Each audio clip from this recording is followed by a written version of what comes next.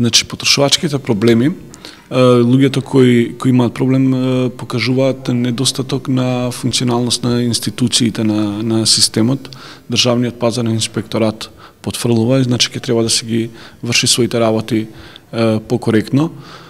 У принцип и правните проблеми се тука, мора мора да има реформа на на судскиот систем мора да кажеме дека влијае и тоа дека сиромашниот човек не може да си ја бара правдата. Денеска барањето на правдата пред нашите суди е всушност многу скапа работа, па тоа повлекува и дека ќе мора корените промена на системот на социјална заштита, И тоа всушност кажува дека комплетно државата со своите институции мора да, да го промени начинот е, кон граѓаните, да ги информира повеќе граѓаните за своите права.